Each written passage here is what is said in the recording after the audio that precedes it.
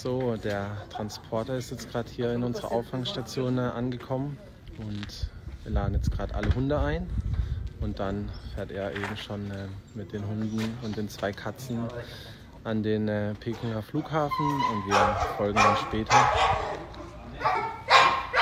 Hier werden gerade noch die letzten Boxen zusammengebaut. Hier seht ihr einmal die französische Organisation, zu der die Hunde gehen. Chloé und Alice. Dann haben wir hier einmal den Christoph. Die sind alle eben aus Frankreich gekommen, um die Hunde einzupacken. Und hier seht ihr schon die ersten Glücklichen, die es jetzt dann gleich nach Peking an den Flughafen geht. Dann haben wir den nächsten, das ist die Lotta.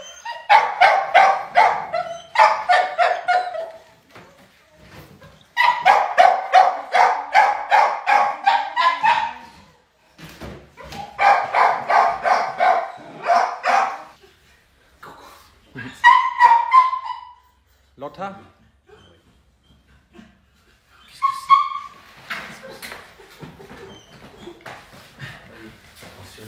Insgesamt werden äh, neun Hunde und zwei Katzen nach Frankreich gehen und wir nehmen dann noch vier Hunde mit nach Deutschland.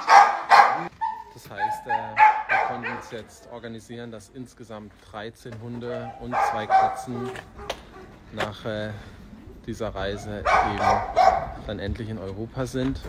Und die französische Partnerorganisation wird dann eben ihre Hunde bei sich in Frankreich vermitteln und wir eben vier von uns bei uns in Deutschland.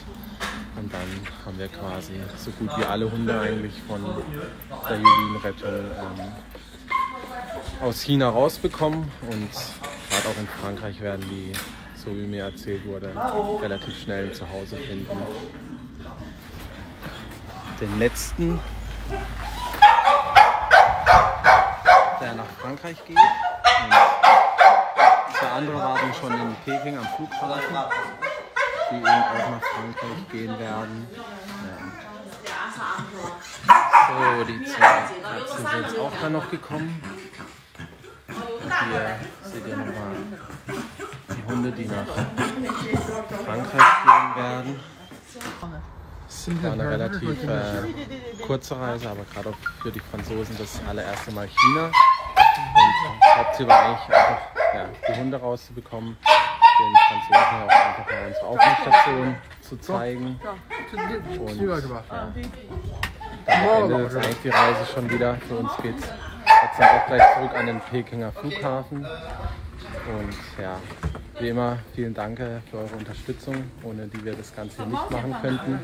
Und wir melden uns dann auf jeden Fall ähm, von Deutschland aus wieder, wenn alles geklappt hat und die Hunde gut angekommen sind. Bis dann.